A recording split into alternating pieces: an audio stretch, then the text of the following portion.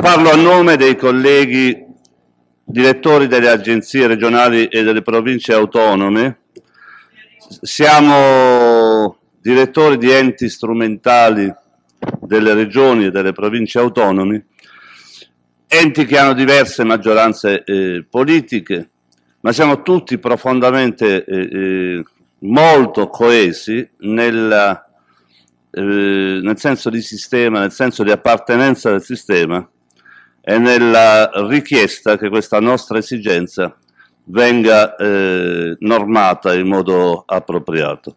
Questo, sulla base di questo, la conferma del Presidente del Bernardinis no, non è soltanto per me un motivo di, di gioia personale per l'apprezzamento dell'uomo, dell'amico e per l'apprezzamento del ricercatore, ma anche una, un segnale molto forte di vitalità di un sistema che in questi mesi aveva, non te lo nego, dubitato della possibilità che il sistema eh, eh, possa svilupparsi in una situazione acefala come quella che si era determinata. Quindi una, una grandissima gioia. Io parlo con la mia prima parte e sostanzialmente quasi tutte le slide sono state prodotte dal gruppo di lavoro coordinato dal dottor Luca Marchesi di ARPA Lombardia. Ho aggiunto una parte non politicamente corretta alla fine della presentazione perché è quella, quella, quella, in quella esprimerò proprio pensieri nemmeno dell'agenzia, ma proprio miei personali. Della, eh, dal punto di vista diciamo, della, della tipologia del sistema, noi, eh, eh, pochi, una serie di numeri dal punto di vista fotografico, il sistema è molto eh, eh, asimmetrico, ma comunque c'è stata una fortissima crescita. In questi vent'anni la capacità di, di, rispondere alle pressioni ambientali è, non è confrontabile rispetto a, alle epoche precedenti. Cioè la, la nascita di questo di questo insieme che, che, che, non era sistema, ma che era una sommatoria di agenzie regionali delle province autonome, comunque ha prodotto una formidabile discontinuità di, rispetto al, al, passato. Noi abbiamo quasi 10.000 addetti, un numero molto elevato di, di sedi e, e siamo, eh, siamo quindi in questo contesto cresciuti e abbiamo purtroppo, ovviamente siamo cresciuti in modo molto asimmetrico, e lo vedremo, abbiamo purtroppo all'interno delle nostre agenzie, come all'interno di ISPRA, personale, una parte di personale ancora a tempo determinato, questo è un elemento di criticità de, del sistema, abbiamo avuto una, una crescita soprattutto del, del, del, del, personale di comparto, una riduzione del personale dei, dei, dei dirigenti che è un indicatore, questa, questa, questa differenza di segno tra comparto e dirigenza è un fatto certamente positivo. Ovviamente, vedete in queste slide, c'è un T con 0 e poi ci sono delle date, che sono 2009-2012. Il T con 0 è diverso nelle diverse regioni, l'Alpa Emilia Romagna del 2006, forse l'Alpa Toscana l'ha battuta sul, di, di, di, qualche mese, eh, Alessandro, no? mi sembra che l'Alpa Toscana sia nata prima. Eh, 2003 l'Alpa Emilia, di tre mesi. l'ultima, tra le ultime c'è l'ARPA che dirigo io, 2003, e l'ARPA Sardegna è l'ultima del 2006. O, ovviamente come, è, è evidente che le agenzie che sono partite dopo hanno potuto fare un numero di chilometri inferiore, ammesso che, che le risorse, che si possono determinare una situazione di iso-risorse che ovviamente è esattamente l'opposto della realtà. ovviamente questo non è colpa di Roma Ladrona né di Milano Ladrona né di Bologna o Firenze, è colpa delle regioni meridionali, nel senso che potevano partire prima, potevano partire meglio. Ma eh, questa, questo è un problema, problema politico della qualità delle classi dirigenti meridionali. Quanto costano? Costano abbastanza. 600, quasi 600 milioni di euro non è poco, quindi è, è, è una risorsa finanziaria importante che bisogna valutare e la maggior parte deriva dal fondo sanitario delle specifiche regioni, con contributo marginale di altri settori. Il costo per cittadino è, è tutto sommato esiguo ed è comunque in discesa, negli ultimi tre anni calato del 10%, che corrisponde a una sorta di auto spending review che il sistema si è dato pur in una situazione di aumento di pressioni ambientali e di necessità di, di, di fornire prestazioni ambientali. Una, qualche numero sulle attività, quasi 100.000 ispezioni sopralluoghi, quasi 75.000 attività istruttorie o eh, pareri, anche queste sono attività in, in crescendo, con eh, un numero molto alto di attività nei laboratori, 630.000 campioni, buona parte di, per, di natura prettamente ambientale, il che rappresenta la profonda discontinuità con il mondo lontano di appartenenza dei presidi multizonali di prevenzione, un numero di parametri molto elevato.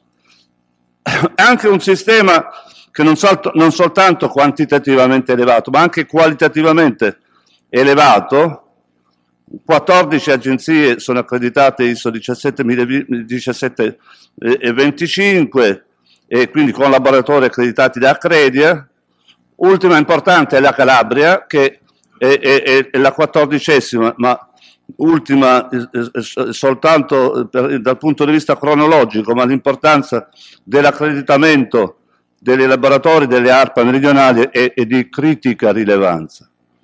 Abbiamo una serie di attività che svolgiamo in modo coordinato, molto importanti, di scambi di buone pratiche, gruppi di lavoro, linee guida, manuali di buona prassi, riuso di applicativi, formazione comune che dovrebbe essere probabilmente potenziata. Poi abbiamo una situazione, se uno guarda più nel dettaglio, molto, come è stato detto, asimmetrica, è un sistema che è performante ma ci sono delle sofferenze. E ci sono problemi di risorse finanziarie, particolarmente sul, su, sull'area da Roma inclusa giù, e situazioni soprattutto legate alla, alla insufficienza delle risorse umane, a volte si hanno le risorse finanziarie ma l'impossibilità prodotta dai limiti normativi sull'acquisizione di risorse umane non consentono di utilizzare risorse finanziarie. Quindi siamo in, in una situazione in cui aumentano le esigenze prestazionali e, e, e quindi questo, eh, l'esigenza di investire molto sulla qualità che costa molto, qualità non è facile da raggiungere, difficile da mantenere e comunque costa moltissimo. Sistema quindi in qualche modo a macchia di leopardo con eh, profonde asimmetria, più velocità, ma tutte comunque caratterizzate da una fortissima crescita. Rapidamente eh, i dati eh, sintetici per, per, abitante, gli abitanti serviti per singolo addetto 6.230 o analogamente, questi sono dati abbastanza poco informativi forse, ma eh, quello che importa è vedere l'eterogeneità geografica, e in cui vedete ovviamente la forte penalizzazione del, del, del Sud sia eh, con ciascuno degli indicatori che, che sono, possono essere eh, adottati. Le dotazioni organiche, vedete che abbiamo detto che quasi il 75% è caratterizzato da personale di ruolo, ma qui, qui con profonda eterogeneità, solo il 57% nel sud e eh, l'88%, per, più, l'88% del nord, quindi con un'ulteriore caratterizzazione di criticità caratterizzata appunto da questa carenza essenzialmente di persone. Quindi un sistema certamente da rafforzare, con, eh, che soltanto il sistema, con una politica ambientale nazionale, la definizione di eh, eh livelli essenziali di prestazioni tecniche ambientali, e eh, quindi la, la, eh, garanzia per, eh, perché ciascuna componente del sistema possa svolgere in, una, in modo coordinato l'attività di sistema, questo ovviamente è, è, è, di primaria importanza. crediamo molto nel, nella istituzione del sistema nazionale di protezione dell'ambiente che risolverebbe parte almeno di questi, di questi, problemi. Qui comincia la parte mia, la qualità delle slide, eh, purtroppo è, è, nettamente inferiore. E il rapporto Ox del 2011, di cui non si è molto parlato, aveva sulla, su, sull'Italia, aveva un capitolo sull'ambiente e uno in particolare, un, un lungo paragrafo sulle agenzie ambientali. Nell'obiettivo di sviluppare la governance giusta, indicava una criticità nel sistema delle agenzie una frammentazione del reporting e tra le autorità di controllo ambientale, per cui i dati non possono essere uniformi in tutto il Paese, una circostanza che impedisce di realizzare miglioramenti del benchmarking.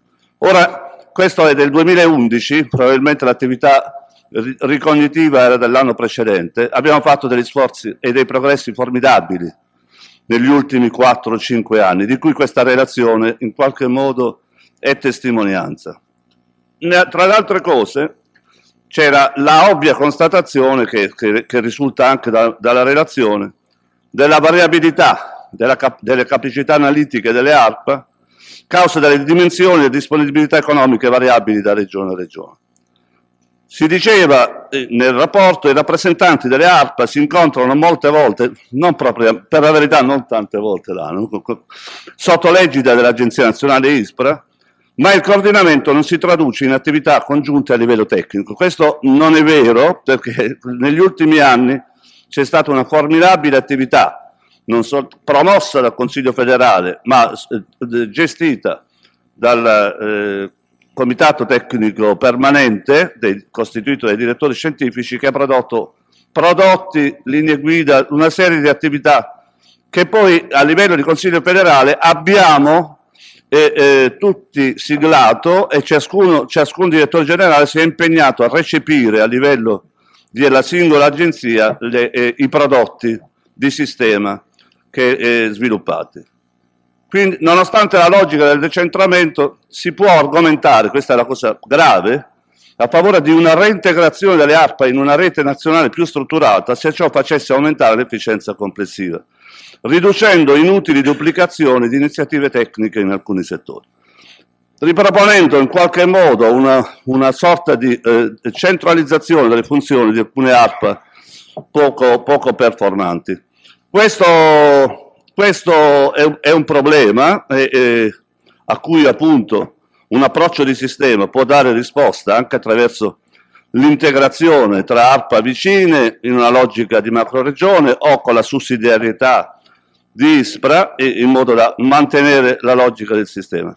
Ora il problema è quale modello di governance è giusto per rispondere al, al problema dell'Ocse. Questo è il compito vostro di legislatori. Quale ruolo per il sistema nazionale di protezione ambientale? Ci sono tre possibili approcci che possono anche essere gestiti in modo ibrido, che però con profonde problematiche legate alla gestione di sistemi ibridi quello tradizionale di controllo, comando, vigilanza, polizia giudiziaria, cioè, quello in cui io credo, dell'organo tecnico indipendente caratterizzato da autorevolezza scientifica, volto alla promozione della sostenibilità e della qualità delle imprese, quello di cui ha bisogno il sistema paese, confronto, aperto al confronto con le associazioni, e poi c'è un'altra funzione che è, che è estremamente pericolosa, quella di assunzione di funzioni autorizzative. Ora, noi non riusciamo nemmeno a presidiare la funzione B, quella di organo tecnico scientifico. Ieri sera ho ricevuto un invito a partecipare a un convegno nazionale che sciaguratamente si terrà a Bari il 15 aprile, organizzato da una rete sostanzialmente parallela al nostro sistema, e qui c'è un problema di spending review, una rete pubblica centrata sull'Istat e con i comuni e con la collaborazione esterna di Lega Ambiente.